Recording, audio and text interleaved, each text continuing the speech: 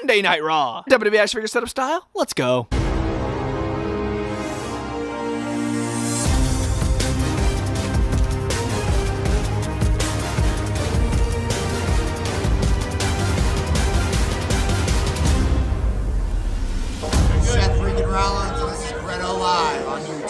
What is going on, guys? Light back with another video. and Today we have the Week in Review episode 264, where we go over Raw and SmackDown in a WWE action figure setup style. Starting off with a crazy Monday Night Raw. Mami is back. We're going to talk about it in a bit. Liv, run, live, run. That's all I'm going to say. We're going to talk about it in a bit. We're going to talk about everything. We're going to talk about the matches, the results, the backstage promos, absolutely everything. Uh, so let's do this. Open up the show with an absolute banger promo between Seth Rollins and CM Punk. Seth Rollins, simple as that. He wanted an apology from Punk. I thought for sure we were going to see Drew McIntyre come out, but no, he was not on this Monday Night Raw. Adam Pearce told him to stay home, so this promo was not interrupted. Seth Rollins wanted an apology, and CM Punk obliged. He's like, I apologize. I didn't really want to get in your business, but it's CM Punk. You're never really going to get a true apology. So he kind of bashed Seth Rollins after he mentioned the apology, and he mentioned Seth Rollins' daughter. I was like, ooh, just to, you know, show Seth Rollins how it feels for somebody to mention your family, like Drew has been doing with the bracelet. Uh, this was an amazing promo between the two. I cannot wait for them to fight. I cannot wait for CM Punk and Drew to fight. I cannot wait for CM Punk and John Cena to fight again. I know it's going to happen uh, in Cena's farewell tour. This was an amazing promo to open up the show, and my goodness, I cannot wait for SummerSlam, dude. I know Punk's going to have something big. I don't even think he's medically cleared yet, but like, I, I know he's going to have something big at SummerSlam. This was an amazing promo to open up the show. Our opening match of the night was Yeet, Mr. Main Event, Jey Uso in the opening match, going up against Chad Gable. This match was actually really decent. I was looking forward to it, especially post Money in the Bank. I feel like these guys have had a lot of beef, so to squash the beef was pretty good. We did see the lights go out at the end of the match, similar to the, you know, the, the Wyatt Sicks, you know, the signature Fiend lights. You know, when the lights go out, and then Jey Uso took advantage of Chad Gable being distracted, and he hit the spear. One, two, three, and no, Jey Uso's music did not hit. He said a yeet and dipped up out of the ring. He's like, I'm out, boy. He left Chad Gable in the ring. Chad Gable did make eye contact with obviously Nikki Cross. Nikki Cross, who is that new character, which we don't have a name yet. We just, we don't have a name. I wish we did. All right, I wish we had names of these characters. But Nikki Cross did approach the commentator desk for the third week in a row, and she handed a box. This time, fully delivered to Pat McAfee. The boxes have been made out to Pat McAfee, but he hasn't been there. They've been being, being given to Michael Cole. So Pat McAfee finally got a box from Nikki Cross, and you already know the VHS tape was in there. She they sent it to the truck, they got it played, and then Bray Wyatt. Uh, oh my gosh, I said Bray Wyatt. Bo Dallas. I'm sorry, Bo Dallas. Uh, obviously cutting a promo. It looks like he's in the Firefly Funhouse when he cuts these promos, and he obviously he was just embracing the Uncle Howdy side of things once again. And right for a second, I was like, oh, this could start getting really old. Are they gonna do this for a fourth week in a row next week with the VHS tape? Oh, I'm like, no. But then they showed Bo Dallas live on the freaking screen. Adam Pearce was going into his office, and dude, Adam Pearce had a heck of a night on this Monday Night Raw. Bro was busy. And then to top off his night, he saw Bo Dallas in his freaking office? Oh my gosh! So to see Bo live action on screen, uh, just it felt amazing. It really did. Seeing him in that office, the, no words were exchanged that we, from our point of view, but it was just really cool to see Bo and Adam Pearce on the same screen. And it's just I don't know. I do not know where Bo's gonna be. I love the alter ego. How he's Bo Dallas and then he's Uncle Howdy. I love that. Just like the Fiend used to be. Sheamus wanted a match with Bronson Reed, but Bronson Reed's like, you know what? You can wait. I have your former partner Butch tonight. So it was. Oh, I'm sorry, Pete Dunne. I'm sorry, Pete Dunne went one on one with Bronson Reed. The match was okay. Bronson Reed kind of squashed uh, Pete Dunne, hit him with the tsunami off the top rope. And then after the match, Bronson Reed was going for another one. But then Sheamus is like, nah, my former brawling brute, that's not happening. I'm running out. I'm going to bro kick Bronson Reed, get him out of the ring, take him out of the equation. But then Pete Dunne wasn't having it. He pushed Sheamus and he's like, dude, what are you doing? Uh, I don't know if Pete Dunne like meant like, hey, I had that, or if he meant you screwed us when I was in the Brawling Brutes. You just dipped up out of here. But Sheamus was injured, man. Because you got to remember, Sheamus left the Brawling Brutes, and then Ridge and, and Pete Dunne, they just couldn't they couldn't handle it together. So uh, uh, Ridge Collins kind of just left Pete Dunne, so that left him kind of pissed off. But uh, I understand uh, Butch's frustration. But I mean, bro, he helped you out. You would have got another tsunami splash from Bronson Reed. I would have been like, yo, thanks, bro. But um, yeah, this is this was okay. Interesting, very interesting seeing Bronson just randomly start feuding with Sheamus. Sami Zayn post Money in the Bank comes out and he is still a champion. I'm shocked. If you guys saw the Money in the Bank review, you guys would know that. Oh, I thought I thought it was going to be Bronson. I predicted Sami, but I was like, no way. And I'm like, oh, somebody's gonna interrupt Sami Zayn. Who's it gonna be? Who's it gonna be? And then it's Bron Breakker again. I was like, oh man, WWE, come on, what are you doing? We already saw this match. At first, I was very disappointed because Bron Breakker, he barely said a thing and he just speared Sami Zayn. And it looks like he was about to run around the ring again and spear Sami Zayn again, and he did. And I was like, oh my gosh, I feel like I'm watching the same thing that happened before Money in the Bank. I was getting so bored. I was like, bro, I feel like I'm watching an episode of Raw from like three weeks ago. I was like, what? Security comes to break it up. And then Ilya Dragunov came out, which I thought was really cool. Dragunov came out to kind of break it up between Bron Breakker and get him out of the equation a little bit uh, and just kind of comfort Sami Zayn, which I thought was really cool. I thought Ricochet was going to return. I really did. I thought Ricochet was going to help out uh, Sami Zayn. But later, it led to a match between Ilya Dragunov and, Bra- and Bron Breakker. He wanted a match. He got it one on one between the two. And I'm glad they're kind of redirecting Bron's focus to Ilya. So maybe this could turn into a triple threat match in the future with Sami. I think that would be amazing for the IC title because I do not want to see another one on one between Bron Breakker and Sami Zayn. I'd be so bored. Don't do it, please. So Bron Breakker decides, nah, I don't want to pin Ilya Dragunov. I'll just throw a freaking office chair at his freaking head, Braun Strowman style. I'm like, what on earth? So he gets himself disqualified, loses the match, I might add. So that's a second loss for Bron Breakker within three days. How freaking lame.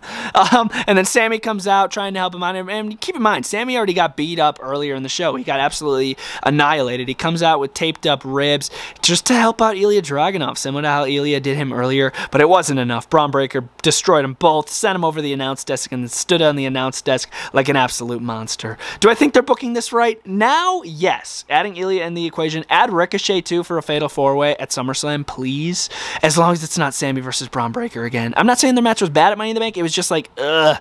I don't need to see it again. Yeah, so our main event of the show, Dominic and Liv Morgan had to team up to go against Zelina Vega and Rey Mysterio of the LWO, right? So, they thought they'd get a little pre-match stretch in backstage. Very interesting predicament Dominic got caught in because his Judgment Day partners uh, caught him stretching with Liv Morgan on a couch in the Judgment Day locker room. I thought it was really funny. JD McDonagh and Finn Balor's heads popping out like a cartoon from the side, and then Damian Priest is like, "So," I was like, "Oh my gosh, dude, hilarious backstage segment." I still love this stuff. And to top it off in the end of the night, oh, I can't wait to talk about it. Stay tuned, guys. It was the Judgment Day. Finn Balor, JD McDonagh, the current tag team champions, and Carlito, who is kind of tagging along with the Judgment Day. I wouldn't say he's officially in the Judgment Day, but it was Carlito as well. Then don't against the Awesome Truth and Braun Strowman. This match started with an absolute, just it started with absolute chaos.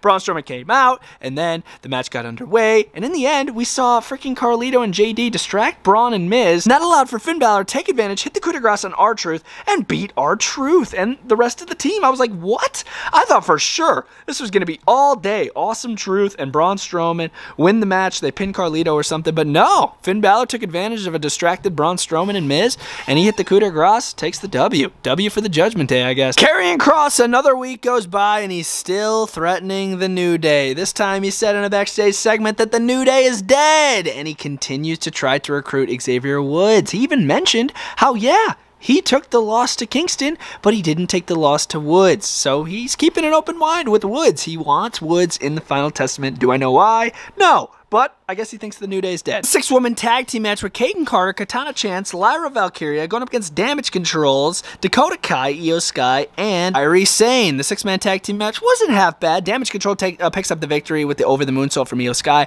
After the match, we did see Shayna Baszler and Zoey Stark, but they were accompanied by Sonya Deville. They rushed the ring and they absolutely annihilate Damage Control, giving Damage Control a piece of their mind. And dude, Shayna Baszler and Zoey Stark are giving Sonya Deville a chance. So I guess Sonya Is managing uh, Shayna and freaking Zoey, but not only managing, she did a she did a couple moves too, which I was like, whoa. So I guess this is gonna be like a three man group here, which is pretty cool. I can get with it. And they are hyping up Gunther for this SummerSlam match. He's got a matchup against Damian Priest at SummerSlam, and he could very well be the next World Heavyweight Champion. Dude, they had a big video for him talking about his Intercontinental title run, going back to his Walter days. It was a really cool video package that I recommend you watch if you missed it. Uh, and man, they were hyping him up. He could very well be the next world champion. And to top it off, our main event of the show is Zelina Vega and Rey Mysterio going up against Dominic and Liv Morgan. I loved this match. I thought this match was a lot of fun. Seeing Liv and Dominic and Selena and Rey work together was just awesome. We saw Dominic pin Rey Mysterio for the first time.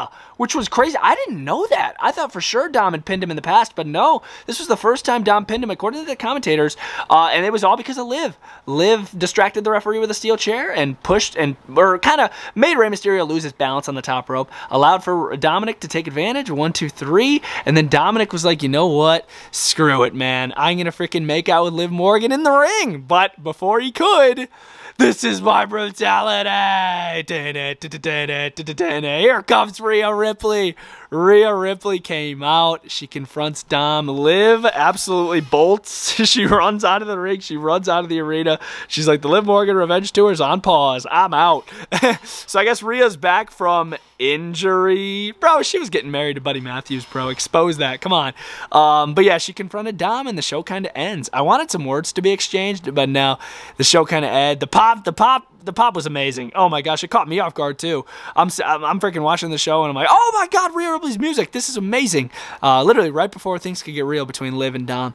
Uh, this was a great way to end the show. Triple H absolutely knocked that one out of the park. That was Monday Night Raw WWE Action Figure Setup Style. What did you guys think about this episode of Raw? I thought it was a really solid, well put together episode. Uh, some basic stuff, but some good stuff. Honestly, uh, if I had to get rank the show out of ten, I'd give it a solid, probably seven out of ten. I thought it was a pretty decent show.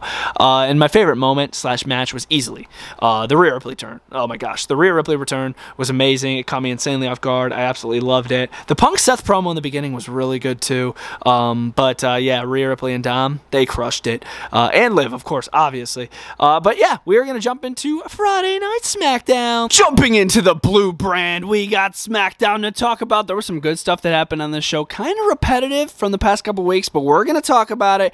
SmackDown, let's go. Opening up with our brand new Miss Money in the Bank, Miss Tiffany Stratton. No, the briefcase is not pink yet, but she did come out bragging about her win at Money in the Bank. She did get interrupted by Bayley. Bayley threatening Tiffany Stratton not to cash in on her because that means Tiffany Stratton will become the first one to fail to cash in as a woman with the briefcase. This does get interrupted by Nia Jax, who comes out because Nia Jax and Tiffany Stratton are kind of teaming up, so they kind of take out Bayley and then here comes Michin to try to help out Bayley a little bit, and then it turns into a match between Nia and Michin. Nia Jax kind of squashed Michin in this. It was a pretty basic win. And then we did see Tiffany Stratton think about cashing in. And Nia Jax is like, wait, what are you doing? What are you doing? I got a match against Bayley at SummerSlam. Do not cash in. I do not want to face you at SummerSlam because they're kind of tight. You know what I'm saying? So Tiffany Stratton, she was looking at the referee. She almost cashed in on Bayley, who was literally laid out in the ring. This would have been such an easy win for Tiffany Stratton, but she didn't. She's waiting. Solid way to open up the show. Just keeping us thinking, yes, there is a briefcase live and in action on the main roster, which is obviously the women's Money in the Bank. The men's got thrown in the garbage because Drew McIntyre failed to cash in. We jumped into a tag team match that I was actually really looking forward to. as Apollo Crews and Mr. Burn the Ships, Baron Corbin, going up against Berto and Angel of Legado de Fantasma. Dude, am I the only one that loves this new version of Baron Corbin? Like, he's just being him, and it's awesome, bro. Face Corbin, and not this goofy, happy, sad Corbin garbage.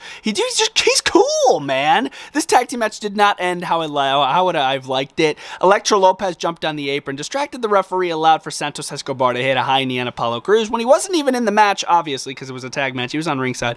And then it led to Apollo Crews getting pinned. I feel like Corbin should not affiliate himself with Apollo lose. Otherwise, he's going to lose every match. Apollo Crews never wins. Do not affiliate yourself with Apollo, man. Corbin needs to go with solo. He needs to take out LW. Uh, I said LWO. Legado del Fantasma all by himself. He can do it, man. Burn the ships. Keep it up, Corbin. LA Knight had a big announcement. I guess he was the only one that was able to talk to Nick Aldis tonight. I found it really odd how LA Knight comes out of Nick Aldis's office and Piper Niven, Chelsea Green, and Pretty Deadly all needed to speak with Nick Aldis. But LA Knight said he wasn't even there. But then where did LA Knight get this contract? LA Knight came out with a contract, cut an awesome promo, talking about how he's going to get a United States Championship title match at SummerSlam against Logan Paul because he pinned him in the Triple Threat Money in the Bank qualifiers match at Madison Square Garden. So he's going to get the opportunity for the title. And my God, I cannot stress this enough. LA Knight needs this win. He needs this win. The United States Championship would look amazing around the waist of LA Knight. Yeah.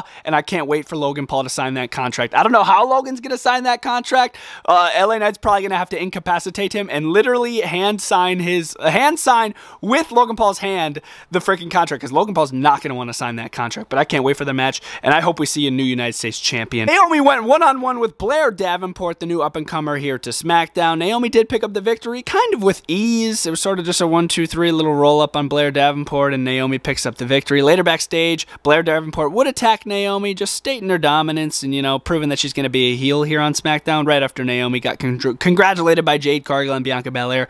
Um, do I care about Blair Davenport? I mean, she might grow on me, but as of now, I don't know. It's kind of just your classic little heel.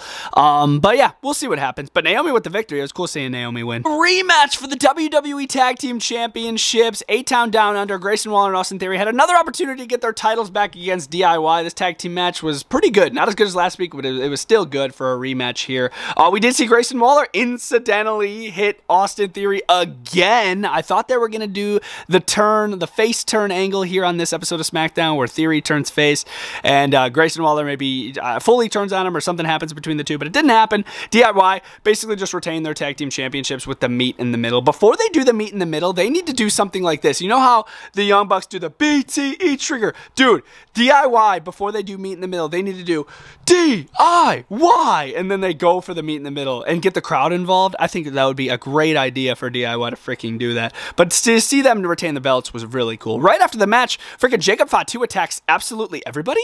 The Bloodline want championships, so I swear, Solo sent Jacob Fatu out here just to take out the tag team champions and freaking just make a statement. They want the tag gold. They want the freaking main undisputed WWE championship that Cody Rhodes holds. So they get attacked, and then Solo Sikoa proceeds to cut a promo calling out Cody Rhodes, which Cody Rhodes would come out, where it would be a four-on-one beatdown on Cody Rhodes, man. They got him locked up in the ropes, and you already know Randy Orton, who said earlier in the show that he's going to help out Cody Rhodes. Kevin Owens wasn't here tonight, so Kevin Owens wasn't able to help out, but Randy Orton came out, and the, the numbers game was just too much. It was. You have Jacob Fatu, Tanga Loa, Tama They do a triple powerbomb to Randy Orton through the freaking announce table, man. Get him out of the equation and force Cody Rhodes to watch it just like this. I'm like, bro, how dirty is that? They ended SmackDown very similar to how they've been ending it with the bloodline on top. Uh, I don't know. I, I, really don't know where it goes from here. Solo Sikoa called out Roman Reigns too. When he comes back, he better acknowledge me. A great way to end the show. The new bloodline, I can get with. I can understand why you wouldn't like it, but I can get with it. I think it's not too bad.